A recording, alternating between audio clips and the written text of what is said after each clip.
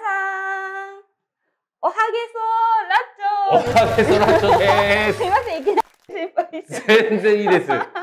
えっと、どうも皆さんこんにちは。名山新聞編集長の門間です。そして本日のゲスト、どうも、おはげそらっちょ、川木てげそ太郎です。ゲソさんです。お願いしますいい。いや、こんにちなんか私の方が、なんか頑張ってる感があるんですよ。なんかゲソさんが来るから、は。はい。ゲソ芸人さんが来るから、はいウェーイいや、いいんですよ。全然いいんです。なんかすごくあのすす今日は素ですみたいな。いらっしゃいませ。あ、あ上上野さんです。上野さんはいはい。熊ラテをお持ちしまうした。わ、可愛らしい。はーい全然見えない。失礼しますあ、わはいありがとうございますはい全然見えないので外します。外すの？はい全然見えないんで。あ、そう。はい。あ、熊ラってすごい可可愛い。愛いこれですよ、これちょっと見せたいな、でも。はいこあはい、これもう今まで見せてるんですかね？どうなんだろね、ゲう。うわ、ソさんすごい可愛らしい。数学カフェにいらっしゃるのが初めてということで。はいい、いやいいですねそ。ありがとうございます。これこのまま飲んでいいやつ？可愛いのは好きですか？可愛いの好きですね。もう本当にありがたい。はいこ。のまま飲んでいいやつ？はい、そのまま飲んでいいやつです。すごいありがとうございますはい。はいということで今日はもう本当私鹿児島に来て最初に出会った芸人さんというか。そうね。はい、鹿児島に住むことが決まる前から見ていた芸人さんを今日やっと数学カフェにお呼びすることができました。ありがとうございます。うん。いやこちらこそです。はいもうはい何年前ですかあれが？2016年なんで、うん。6年前か。六年前？はい。はい六年前に？はい、私就職活動生で、は関西からひょっこり鹿児島にやってきた、鹿児島のこと全然知らないみたいな就職活動をしていて新聞記事でうん偶然ゲソさんがやってるお笑いライブ「濡れタンフ」うん。えーなんかライブがありますっていう記事を見て、まあ、その時私は関西から来たので鹿児島のお笑いってどんなんやねんみたいな感じで、えちょっと鹿児島のお笑いライブ気になると思って就職の面接が終わってその足でライブ会場に行ったんです。はい、でもしかしたらあの面接結果の電話が鳴るかもしれないと思って、マナーモードにして、うん。ライブ中だけど電話が鳴るかもしれないと思いながらゲストさんをはじめもういろんな鹿児島の芸人さんが出てる舞台を、こう一番前の席で見てたんです。はい。だから目立ってた。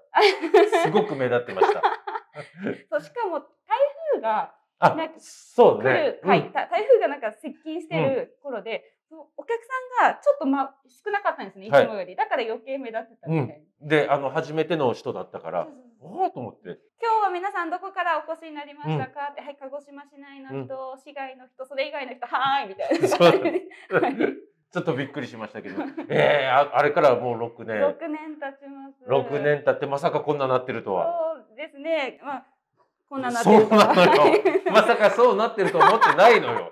でまあねそれからいろんなところでご縁をいただきまして、はいはまず自己紹介をちょはい。っと簡単にお願いします。はい、えっと、今ですね、え KTS 鹿児島テレビでタレントをしております、え川木定芸佐太郎で、まあ、もともとは志村けんさんのはいはい。付き人を、して、芸能界に入りまして、っていうので、まあ、その流れからずっとはい芸能活動して、はい。何度か今もありがたくさせていただいてます。このね本を、はい。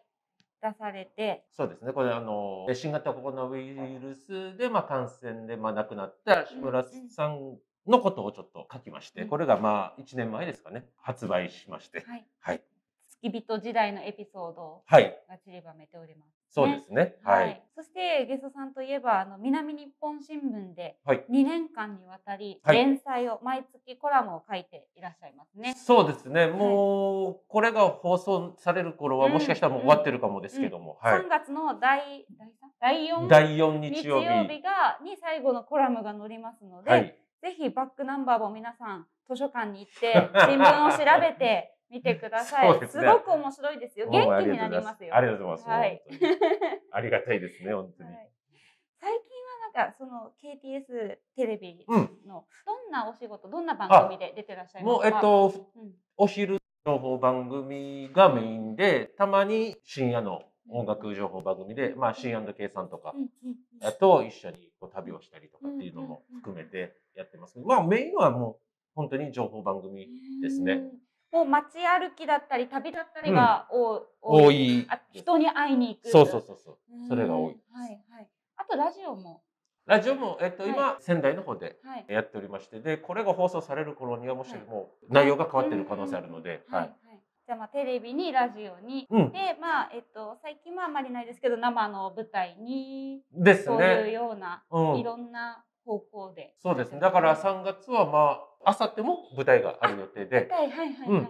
これ言ったところ僕放送が終わっちゃってるんで。そうですね。ねあの、はい。放送のところにはもう舞台終わっちゃってるんであれですけども。そうですね、はい。ちょっと後で聞かせてください。はい。はい。ゲソさんちょっとこれまでの話を聞いていきたいんですけど、はいはい。そもそも芸人みたいな。そうテレビとか、うん。タレントとか、うん。そういう業界に興味を持ったきっかけを教えてください。これもう小学校の時に、うちが結構貧しかったんですよ。5人家族で、多分4畳半2間か6畳2間かに5人住んでて、うん。で、風呂なしのうんお家で、言ったら毎日のように怖い人が家に来る。うん。感じだったんですよ。ね。あの、ちょっと何かをお返ししなさいみたいな感じで。何かを。何かお返ししなさいみたいな感じでこう来る家だったんで、わーってなってて、ちょっともうだから、こう嫌だな嫌だなっていう、う鬱屈したものがある中で、テレビを見ると、テレビの中の人たちがすごくお肉を美味しそうに食べてたりとか、っていうのを見るんですよ。それ、あの、なるほどザワールド。見てて、この画面の向こう側の世界に行けば、毎日こういった美味しいお肉が食べられるんだとか、っていう ことを思ってて、あと、もう一個は、小学校3年、4年ぐらいだったらいいけど、5年、6年になってくると、女の子にもちょっとモテたくなってくる時期で、モテるってなると、勉強ができる。うんかっこいいスポーツができる。で、あともう面白いとかっていうのがあって。で、この選択肢の中で自分が一番可能性あるのは、もしかしたら面白いかもで、テレビをずっと見てたら、萩本欽一さんとか、ドリフターズがすごく面白くて、どんどんどんどんこの世界に引き込まれてったっていうので、そのお笑い芸人になりたいっていうのをうっすらというか、まあ明確にでももう卒業文集には書いてるので、おー小学校の時の卒業はい、あの、萩本欽一さんみたいなコメディアンになりたいっていうのを書いてるコので、メディアン。に、うん。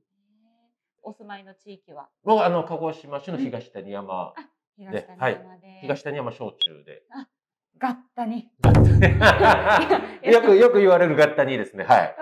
県外から来たんで、はい。すごい強烈で、はい。そういう言い回しが、はい。なんだっけ？ミラバルとかあはいはいはい。ガッタニとかが強烈で、明らかに強そうな。だもうだからね、あの、ガッタにはあんまりいい印象は持たれてないですよね。テレビの前の皆さんごめんなさいね。ガッタニの方がいたらごめんなさい、いやいや、ででもまあこれはもう本当のことだからしょうがないですよご兄弟は？は、えっとね、男三兄弟で兄貴がはい。二人いて、だあからそれこそだから貧しかったから、ボロボロのその、なんか、お下がりの服しか覚えてるのがやっぱここら辺が胸元とかもヨレヨレなのに、うん。胸に書いてるのがね、リッチとか書いてるんですよ。ボロボロの T シャツ名前。もうもっと思いながら、その頃はわかんないんだよ。そういえばここにリッチって書いてたなと思いながら。まあ、肩身の狭いというか、うんまあ、そういう暮らしからでもテレビの向こうの世界って、結構どうやって行ったらいいんだろうってなると思うんですけど、その小学校卒業後のことを教えてください。卒業して、まあ中学になって、中学時代も話します？はいはい。学生服もお下がりだから、兄貴の学ランを、もうそれこそ普通に中ランとか、うんあの、校則違反の学生服をお下がりでもらってるので、入学式からもう職員室に呼ばれたりとかっていう。で、僕、あの、はぜきですって言ったら、あ、本名はぜきって言うんですよ。はぜきはい。しんいちさん。はいはい。ではぜきですって言ったら、あ、じゃあまあ、しょうがないか、みたいな空気になって、そうなんだ職員室でも。まあまあ、でも、そのうち普通の服着なさいよ、みたいなことを言われながら。で、学費とか給食費とかも自分でも新聞配達とかしながら払ってたりもして、生活費もまあ自分である程度っていうぐらい、まあまあ本当に結構その辺がね、一番貧しいピークになってきてたんで、うん、っていうのをやりながらも、悪い道に行きかけてるんですけど、でもやっぱり内気な少年なんで、あの、お笑いっていうのをずっと、だから、その頃にやっぱりドリフターズにすごく目覚めたんですよね。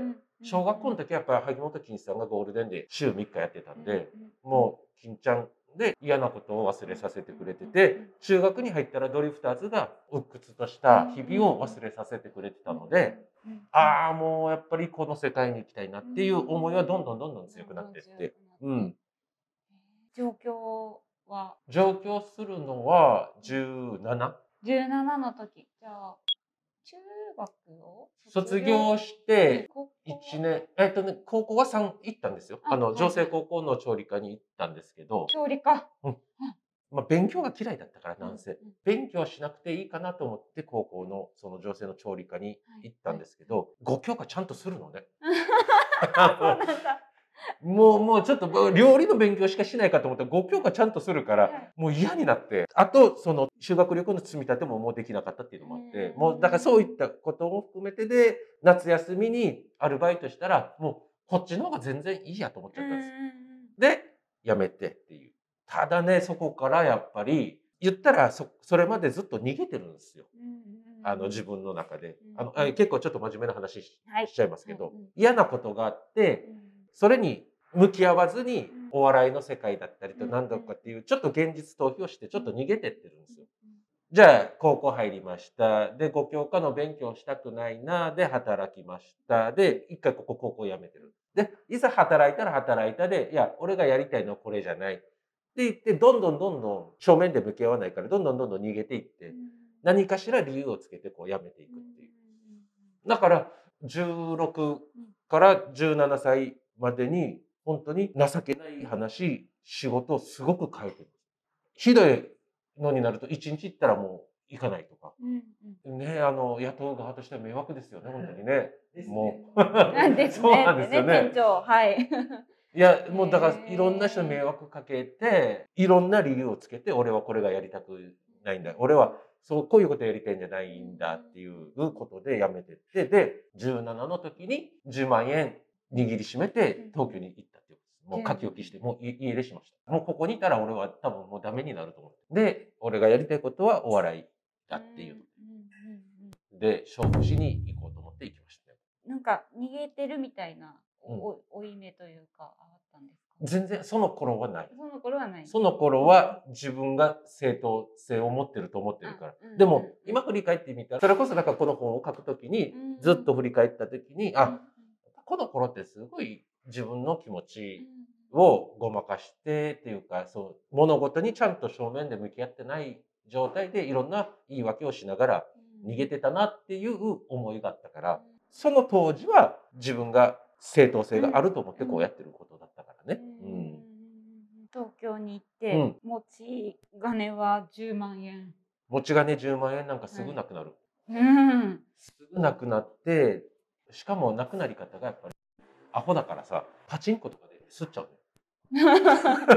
増やそうと思って。いやそうかもですぐなくなっちゃう。行くあてとかあったの？あの長男がうん。いたんで長男のところに行けばなんとかなるとはい思って、はい。うん、そこに転がり込んで。はい。で2日ぐらいでもう10万なんかなくなってますよ。することないからパチンコしてたらもうすぐ吸っちゃってお笑いの道は。って思うじゃない。だから、そこも結局振り返ったら逃げてるからうん。そこまでグンってきてないんですよ。だからもうんうこれだってうん思っていっててもやっぱり心が揺らいでるのよね。う。んじゃあですぐに師匠のところを。全然全然行かない。全然行かない。もへうなんだろう眠らない街東京楽しいってなっちゃった。17で行って今度は18で友達が高校卒業して出てくるでしょ。遊んじゃうのよ お金ないのに。お金あるだからちょっと働きながらは遊んじゃうので東京でなんかクラブクラブっていディスコ行ったりなんだりっていう遊びからこんなことしに来たんじゃないって気づくまでにうんうん6年かかってるから。うーん もうひどいでしょえ。ひどいでしょ。結局お笑いの道に行ったのはその後。23歳だもん。あら、そうなんですか。そう。17で出てって23まではもう本当に普通に過ごしてた。でも東京に行ったらそのステージだったりうん。テレビだったりいっぱいそのなんか自分が触れたかった世界がまあ溢れてるじゃないですか、近くはなるじゃないですか、うん。行かなかったんですか？一応一人でオーディションを受けに行ったりもしてたんですけうんうん。ど、その頃ってまだでもやっぱり、うん。なんでしょうね、自信がないっていうのと、あと、そこまでのだから思いもないんですよね。うん。モチベーションというか、ちょっと満足してるところがある。ん。で、うん食べられない鹿児島の時代があって、で、東京行って自分でちょっとお金を稼ぐようになって、同棲、二十歳から同棲も始めたりしてっていうことになって、普通にご飯を食べられることにすごく満足してた。3食普通に食べられる。好きなご飯を食べられるのに、その生活にちょっと満足してた。お笑いに触れられる場所にいたけど、そこまで触れようとしなかった。っていうのを繰り返して繰り返して、同棲してて、えっと、2年ぐらいかな、2年、2年目、3年目ぐらいに、いやー、俺このままでいいのかなってやっぱ思ったのね。こんなことしに来たんじゃないよな。同棲してる彼女に申し訳ないけど、3年付き合ってるからうん、ご結婚のお話もちょっとずつ出てきてたけど、申し訳ないけど、ちょっと時間をくださいと。もう俺はやっぱり芸能界に行きたいんですという話をして、1ヶ月時間をくださいと。それでどうにもならなかったら諦めてちゃんと仕事しますっていう話をして、で、その1ヶ月でどうしようと思った時に、最初、志村けんさんのところと渥美清さんってわかります？あの、男は辛いよとかやってる。寅さん。はいはいはい。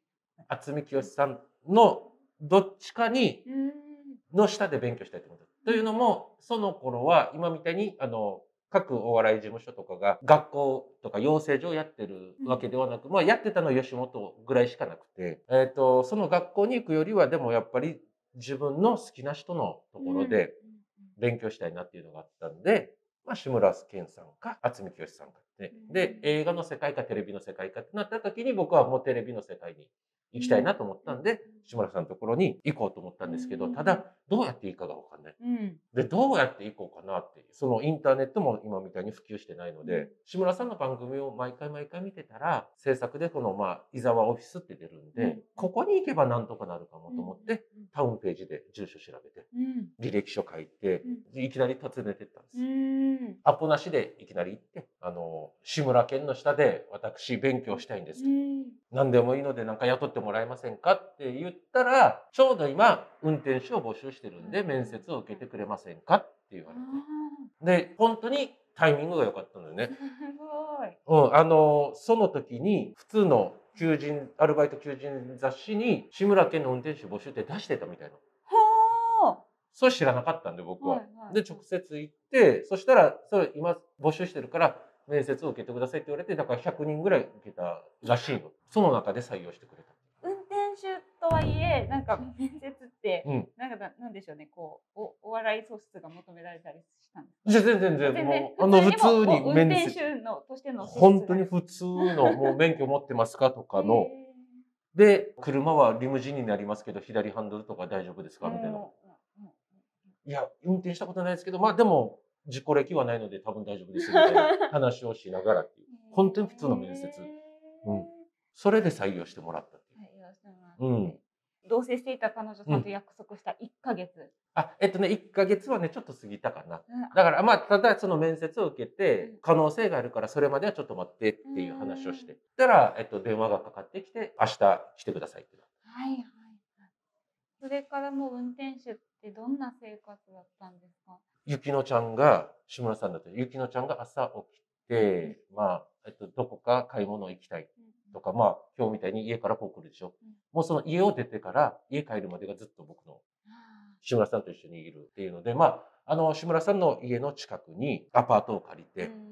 自転車で5分ぐらいのはいでポケットベルと家電とってあってうん、その頃も、だからまずポケットベルが、なの。お仕事の時は、今からじゃあフジテレビ行きますってなった時は、その、明日何時に出ますって、志村さん家を出て、で、そのまんまフジテレビ行きます。着いたら駐車場に車入れて、で、コントばっかりしてたんで、志村さん。だコント衣装の着替えだったりなんだりっていうチェックをして、着替えもちょっと手伝ったりするので、で、楽屋に入ってて、その身の回りの世話をするんで、飲み物を出したりとか、あと、楽屋からスタジオに行く動線とかルートも全部把握しないといけないんで、で、先に歩いて、こっちですって案内してとか、っていうのをやりながら、ずっとだから日々、身の回りの世話をして、で、仕事が終わったらそのまま飲みに行く人なので、飲みに行って、その飲んでるのをずっと車の中で待ってる。なってる。うん。で、それを家に送り届ける。まあ有名ですけど本当にまあ飲むのが好きな人だったんで、仕事の時よりも飲んでる時間の方が長い感じだった本当に。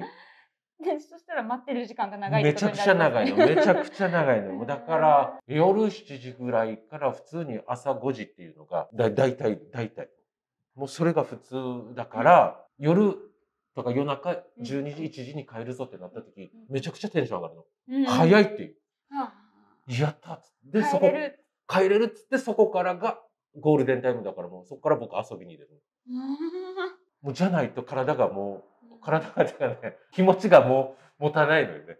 自分が遊ぶ時間もそっからなんですね。そっからそっからでもほぼほぼ遊べなかったけどね。うんうん差し支えなければですが、その同棲していた彼女さん約束してどうなったんですか、その後。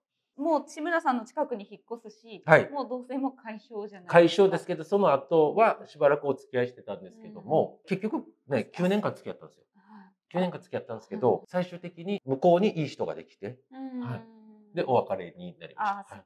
はいそうなんですはい9年間付き人しながらまあ本当にね、時間を作るのも大変だったでしょうね。まあでも僕よりも相手の方が大変だったと思うんう。うん、だってやっぱり基本僕の家に来てっていう。で、僕はいつ呼ばれるかわかんないから。休みの日も、志村さんが仕事がない日も出かけるって言ったら行かなきゃいけないので。で、それがいつ呼ばれるかわかんないし、夜10時ぐらいに電話して今日出ますか？って言っても、まだわかんないって言われるの。そしたらもう家にいるしかないから。ね、飲めないし、そ絶対飲めないし。う。もともともう飲めないからいいんだけめない。どね。っていうので、だから、結局どこに行くっていうこともできないからね。志村さんについてるこの中で、だからどこか遊びに行くとかっていうのはもうできないんで、付き人は何年間されたんですか？7年間しました。だから7年間23歳から30まで。30まで、今聞いてる生活だと、うん。そうテレビの向こうの世界に自分がまあ出るってとことは程遠いかと思うんですけど、うん。その後どうなっていったんですか、ついてる時うに、ん。生意気だけど3年間そういう修行ってうん。やったらいいだろうな、なんて勝手に思ってた。なので、志村さんについてる時の3年目に、えっと、上がらせてください。うん。僕、あの、まあ、その間はもう、もう志村さんにもうべったりでやろうと、3年間は何があっても絶対やめないでやろうと思って3年目になった時に志村さんにすいませんと、あの、僕はもう自分の活動とかもうんできないんで、ちょっと、えーやめたいんですけどって話をしたら、志村さんからダメだって言われた。で、それがなんでダメかっていうと、お前は今この3年間、俺の身の回りの世話をして、付き人としての仕事はちゃんとやってるけども、俺の近くにいてお笑いとして何かやろうということは全くやってないよなって言われて。で、お前今この状況が変われば自分でやると思ってるかもしれないけど、俺のところにいて何もしないやつは絶対状況が変わってもやんないぞって言われて。それが芯を食った話で、あっと思ったんです自分の中で確かに志村さんの身の回りの世話をして志村さんの欲しいものとか言おうとしてることももうこの3年間でだいぶ分かってもう1言ったら俺も10理解できるぐらいの関係は築いてたけども言ったら志村さんのお笑いの番組とかなんとかってこう一緒について回るから自分がねちょっとやってる気になってたの志村さんの近くにいて自分はその志村さんと一緒のチームだから志村さんと一緒にお笑いをやってる気になってたけど、え、確かに自分で何かをしてるってことなかったのね。そうだと思って。で、志村さんは、もともと志村さんもドリフターズの付き人をやってて、志村さん自体が、俺もドリフの付き人やってたけども、ついてる中で、俺はその空き時間とかスタッフさんをどんどん笑わせてうんた。で、あいつ面白いなって、なって使われるようになったっていう話をされて、あ、俺も全くそんなこともしてないしっていうので、どうしようって考えて、分かりましたと、もう少し頑張りますって話をしうて、ん。志村さんがじゃあ飲んでる、先ほど言ったみたいに飲みの時間がめちゃくちゃ長い。で、志村さん自体は自分でそのコントの企画会議とかも出て、ネタとかも一緒にこう考えてアイデアを出すのが毎週水曜日1回あったので、じゃあ志村さんの番組のネタを飲み待ちの時に考えて、うん。水曜日のネタ会議の時に一番下に僕が書いたやつを入れさせてもらってスタッフさんにお願いして、それをやるようにした。で、これがね、でもね、やっぱ一番最初は、自信あるやつを持ってってんのよね。うん。で、こう、どんどんどん作家さんの見たりなんだりっていう中で一番下の自分の文が来た時に、どんな反応するんだろうと思って見てたら、もうパッってって、もう本当に数秒。うん。数秒パッて見たらもうすぐ、うん。ドワーッと思って、会議の場には毎回出席してマジ一緒に出席してる。うん全く引っかからなかった。自信持ってたのに。もっとじゃあなんか引っかかるように頑張ろう頑張ろうと思って、それでね、ずっと書き続けて、書き続けて書き続けて、ようやく、あれ？これ面白くないですか？って、ディレクターさんが言ってくれたのがあって、志村さんもそうだなってなって、採用された。それがね、だから何ヶ月か経ってたかな、その、出してから。そう、一回通ると、今度は、あ、こういうふうに書けばいいのかと思って、ちょっとずつ慣れてくるんで、それで2個3個って通るようになってきた。で、それが今度は通るようになったら、そのディレクターさんが志村志村さんに、こいつちょっと最近頑張ってるんで、バカ殿の家来役とかで使えませんか？っていう話で、あの、メガネをかけたあの家来役のところに座るようになった。僕は自分が何ができるだろうってやったところの結果がそこになったんですごく良かったなと思って。うん。この本にも書かれてたと思うんですけど、志村さんに、まあ、その上がらせてくださいって言って、なんか、お前今何もやってないだろう、うん。今やってないやつは状況が変わってもやらんぞみたいな、うん。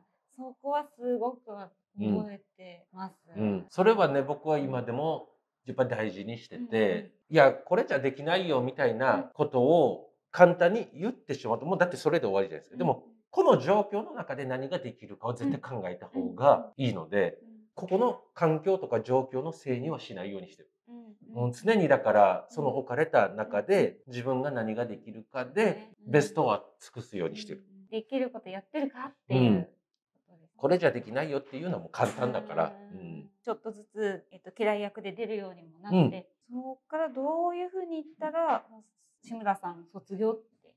そこからね結局4年ぐらいまたかかってるんですけど、そこから志村さんの番組にもいろんなシーンで使わってもらえるようになって、7年経った時にお笑いライブとかも出たいなっていうのがあったんで、志村さんにライブにも出たいんで、次の子が育つまではいますんで、僕の後釜を考えてもらえませんかって言って、たら志村さんが、あの、お前今何年いたんだっつって、うんあの、7年いましたって、そんなにいたのって言って。でお前いくつなのって30ですよ。バカ野郎、お前もっと早くやめろって言われて。いやいやいや、違う違うと。まあで、それでまあ、快く出してくれたって感じですね。うん。なんか鹿児島に戻りたいとかそういう思いってあったんですか？いや、そこはもう全くなく、全然、東京にいる間はもうあの鹿児島のこととかってもうそんな。うん、全然なかったです。もうその、それこそ30代なんて、そこからが自分のスタートだと思ったんで、言ったらでももうお笑いとしても遅いですよ、30でスタートっていうの。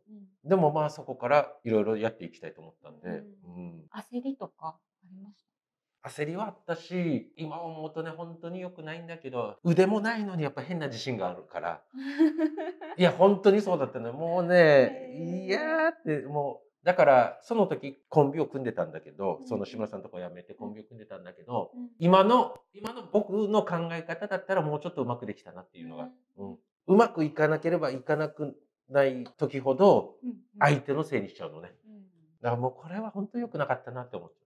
いろいろこう経験を重ねて、めっちゃ学んで学んでますね。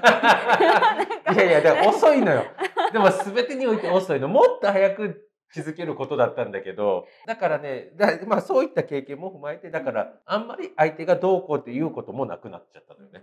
うん。その鹿児島のことはまあそんなに考えてなかったってことなんですけど、どういうきっかけで鹿児島に戻ってくることになったんですそれはね、40歳ぐらいの時に、50ぐらいで鹿児島で何か仕事したいなと思って、10年間は多分種まきが必要だと思ってて、うんうん。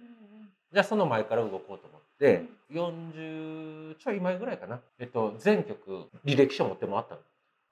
僕こういう仕事してますね。何かあのお仕事あったらよろしくお願いしますっていへうー全局回っての時に KTS がこれまただからね僕はね本当に運だけ持ってるんですけど KTS さんが男性タレントを探してる。そこでいきなりこう会いに行ったら当時のその部長さんが会議室にある何も映ってないテレビを指してこれをちょっとリポートしてみてる。へえいきなり、え？ーと、そんなことやったことないのにと思って、自分で今何を喋ったか覚えてないけどうん、とりあえず、あの、なんか、角がいい可能してますね、みたいなこと言いながら、で、大きいですね、という、なんかそんなことを喋りながら、ったらちょっと仕事を振ってくれるようになってっていうのでで最初だから1ヶ月情報番組のリポーターやってみませんかって言われて1ヶ月 KTS で情報番組お昼の情報番組やってでまた東京戻ってしばらくしたら2ヶ月今度は戻ってきませんかって言われてうん。2ヶ月情報番組のリポーターやってで3ヶ月次戻ってきませんって言われてえ3ヶ月間情報番組のリポーターやってだ怖いのはねその時の部長さんがねあの3ヶ月目終わった時に視聴者の方にねこっそり聞いてんの「ゲソ太郎もう一度見たいですか?」っていう。それで半数超えなかったらもう使わないと思ってたらしくて。でありがたいことにまあまた見たいですってなったんでじゃあ本格的にもうこっちでやりませんかって言われたんです。で東京でもそんなにもう仕事がなかったんでまあ言ったら志村さんの特番「バカ殿」とかうん「大丈夫だ」の特番だったりとかダチョウ倶楽部さんにもすごくあの可愛がってもらってるダチョウさんの番組だったりにちょこちょこちょこちょこ出してってもらってるっていうぐらいだったのでだったらもうこっち側でちゃんとしたテレビの仕事をやりながら東京で仕事がある時に戻ろうかなっていう逆のパターンにしようと思って帰ってきますっていうそれがおいくつの時だっの40とか41ぐらい。た種まきと思ってたけど結構早めにだからもう自分がその10年間ぐらいは種まきをしなきゃなと思ってたのが結構早く負けたんでうんああよかったと思って。鹿児島のことを、まあ、全く考えてない東京時代もあって、だんだん鹿児島のことがそのうん。い50ぐらいになって出てきたきっかけとかあるんですか？鹿児島のことが気になり始めた。ああいやこれはねもうあの本当ちょっと申し訳ないんですけど、うんうん単純に仕事がなかったから東京。で。うんうんだから鹿児島でなんかないかなっていう。うん。うん方の頭でしかなかったんだけど帰ってきて言ったらもう僕は17で出ててうん22年間東京にいてうん。鹿児島のこと何にも知らなくてうん。でお仕事で鹿児島のあちこちに行かせてもらうってなった時に鹿児島がね面白くなってきたの。あこんな街だったんだっていう。それこそ17の時は言ったらもう長渕剛さんじゃないですけど嫌いだったから鹿児島が。あのいい思い出が全然なかったんで。で帰ってきたらすごく素敵な街だなって思い出してあもっと鹿児島のことをちょっと面白くできれば伝えたいって思ったのね。魅力を、うん。うん、っていうふうにちょっとずつ変わってきたかな、ううんんであのまあ鹿児島でそのお笑いライブを自分で開いたりとか、うん。なんかこう後輩の育成みたいなところも考えられたのかなと思うんですけど。あのー鹿児島でライブ自体がまずそもそも根付いてなかったんで、で僕はまあそこの道をずっと来たからなんかちょっとそういう触れ会える場をまず作りたいなっていうのがあってで鹿児島でお笑いをやってるっていう子もいたからじゃあこの子たちがその鹿児島で残ってやるもよしそこを体験して東京に行ってもっと勝負したいっていう子がいてもいいなと思ったからそこの窓口をちょっと作りたいと思って。それプラス自分自身が何でしょう育成もですけど自分自身がこの東京から今度はそのお笑いの人が来た時に自分がやってないといけないのよねやっぱり。普通に喋れなくなっちゃあテレビに出てるだけじゃなくう。て、うん。そのライブの場を持ってて東京の人を、まあ、よ呼べたりとか交流ができる窓口みたいな感じです。あえっとね東京の人に関してはまだねあの今はそうじゃないけどその時はまだちょっと戦いたいの自分もライブを持ってることが大事だったそうあのやってないと絶対うん。あのお笑いとして勝負できないからネタを作ってないとネタを作ってる人には絶対勝てないから。ですね。うん。テレビとリポーターと全然違いますもんね。だからそこのお笑いとして、えっと、ちゃんと勝負したいってまだ気持ちがあってうん40ぐらいの時っていううんの40、うん、42ぐらいかな、うん、まだあって今ねそんなもうちゃんと第一線で活躍してる人たちはもうだからもうすごいって思ってでもまだその頃ってもうバカだから戦いたいのよ。うんっていうので、うん、だからその後輩たちのためプラス自分のためでもあったの。ううんん、毎月やってましたっけ？毎月やってた。本当はね毎週やりたかったんだけどそれだけ出る人もいないし東京ではやっぱほらたくさんいるから僕らはほらそのライブがあってそこに毎週出ればいいんだけど自分でやるってなったらやっぱ同じ顔ぶれになっちゃうからなかなか厳しいからまあせめて月1回。なんかあのやっぱその濡れタンフっていう、うん。そのライブで出て鹿児島でまずお客さんに見てもらって、うん。でなんか東京行きますって言ってる人がいたりとか、巣立っていくんだなうん。みたいな。でたまに帰ってきてライブする人がいたりとか、お客さんもすごく応援してて、なんかそういうあったかさをね感じてましたね。だからそういった意味では、あのね、まあ、ここ2年間はね、できてないですけど、すごく。解散したわけじゃないじゃないです。まあ、ただ、えっ、と、この2年でだいぶもうやる人も変わってきたので、だからまあ今やりたい人がどれぐらいいるのかっていうのがわかんないので、また開催できるかちょっとね、まあ難しいところではあるんですけどね。確かに。今ね、どのぐらい鹿児島でこう、ライブのお笑いやろうとしてる人がいるのか全然わかんないんですけど、こういえば全然ないから、音楽は結構あるけど、そうなんです。お笑いは全然ないから、また見たいなって思ってます。うん。はい。本当はね、だからね、それが定期的にできたらいいんですけどね。うん。でまあそれ最近はまあずっとテレビやラジオうん。ゲス,、トさん出てますけどなんかこれから挑戦したい方向性とかうん。どんな風ですか？あでもあのやっぱり舞台はね、うんやっていきたいライブ。のうん。ライブとかあとうんうん。今生その MBC タレントの野口拓夫さんとかうん吉俣豊重さんたちとも一緒にやってる鹿児島弁慶劇の「面白が」っていううんのがあって最近では僕がちょっと脚本を書かせてもらうことになってるのでそういったこともちょっともっとやっていきたいなっていうのは、うん。あさってのやつですそれはあさってです。うん。か なるほど、うん、なのでそういったことをやりながらあとタップとかウクレレとかも趣味でちょっとやってるんだけどこれを生かした舞台もちょっと自分でちょっとやってみたい。うんそれは。なんかいっぱいまだこれからやりたいこと。やりたいことはある。ねねもう本当に。何が一番楽しいんですか？笑わせること。表現すること。あの一番やっぱりいいっていうかもう自分が考えたものでお客さんが笑って自分が言ったことで笑って面白かったですって言われるのがもう最高の言葉も。もうそれに勝るものはもう何もなくて言ったらもうそれ以外いらない感じなのよね。ちょっと誤解を招くかもしれないですけども、いいリポートしたねとかって言われるのはもう全然そんなに、あの、あありがとうございますだけど、まあすごくあれ面白かったですねって言われたらもう自分の心が躍るのね。いや、よかった、やっててよかったっていう。やっぱりその一言が一番響く。上野さん、そろそろじゃあちょっと上野さんも交えて、あはい。最後のあの。いや、めちゃくちゃ真面目に喋ってますよ。ね。面白かった。本あのですね、もう演歌さん公開されましたっけ？まだマジでしてない。えっと、落語の三遊亭演歌師匠をはい。インタビューしたんですけど、おお、すごい。あの今日の住所を調べて突撃っていうのが演歌さんもそうで演歌さんはいはい。もなんか月たい師匠うのん。住所が載ってて、うん。そのターンページじゃないけどなんか雑誌に載ってて、もうそこに行ってみよう、うんピンポン、うん。ちょうど取ってあげたらみたいな感じで奥さんが言ってうん取られたっていう、うん掃除役が足りなかった。そうそう、掃除役になったから。突撃手法、意外とやってるんだなと思って。意外と今大きくなってる人は突撃してるっていう。まあ、あと手がなかったっていうね。その、もう、もうそれ以外がない。うん、ですよね。うんそこら辺が100人の中から選ばれた理由だったりするんですかなぜ100人の中自分が選ばれたのかも。確かに求人求広うん告出してたもんね。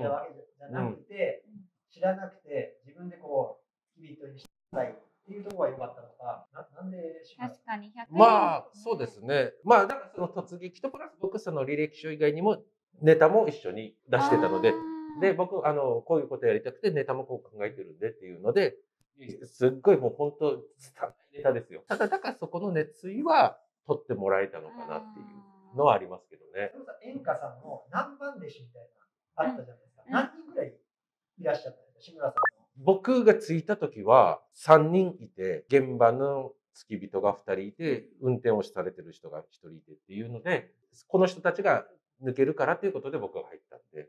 うんじゃあ一人しかいなかっえーっと、あ、僕と一緒にお2人入ったんです。ど2人同時入って、で、このもう1人入った子は半年ぐらいでもう辞めちゃったど、結果僕はずっと1人でほとんどほとんどやってた。た。鹿児島から志村さんの付き人って、なんか、以前もいなかったでしたっけ？